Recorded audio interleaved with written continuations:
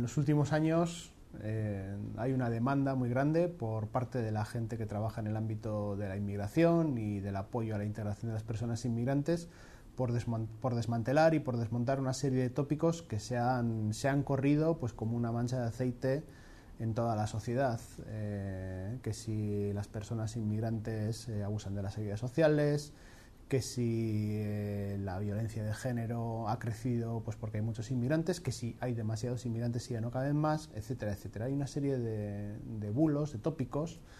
Incluso a mí hay gente que me conoce y que conoce, conoce mi trabajo y que me pregunta, ¿y es verdad eso de que los chinos están exentos de impuestos cuando montan un negocio? ¿No? Existen un montón de, de tópicos que eh, a la hora de la verdad eh, dificultan, eh, impiden que las personas puedan incorporarse a la sociedad pues con normalidad, ¿no? Ya vienen cargados con un estigma. Yo por ahí en la introducción del manual digo que hay una especie de chapapote mental que se pega a la gente y eso impide pues que las personas adquieran o se integren con, con normalidad.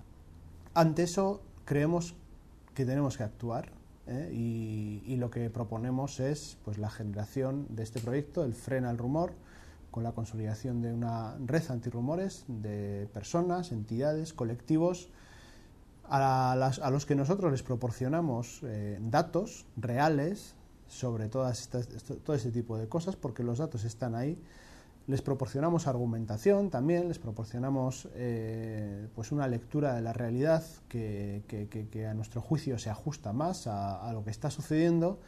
Y a partir de ahí pues les acompañamos, les ofrecemos formación y asesoría para que cada grupo, para que cada persona ponga en marcha en su entorno pues una estrategia concreta, porque quizá es diferente hacer una estrategia contra los rumores que se corren en un vecindario que en el mundo escolar o que en el mundo de los servicios sociales, ¿no? Por lo tanto, más bien creemos que con esta herramienta básica la gente a partir de ahí pues tiene que, adoptar un rol activo, ¿no? Por ahí decimos que eh, ser ciudadanos, ser ciudadanas es tomarse la molestia, ¿no? Cuántas veces, pues en nuestras conversaciones cotidianas, en el bar, con la familia, surgen este tipo de cosas y muchas veces nos vemos como desarmados dialécticamente, sin un dato, sin un argumento, sin una razón, sin un principio ético que aportar para eh, desmantelar todas estas cosas. ¿no? Por lo tanto, pues eh, nosotros como dirección aportamos el manual, aportamos un espacio web donde también se pueden compartir experiencias y aportamos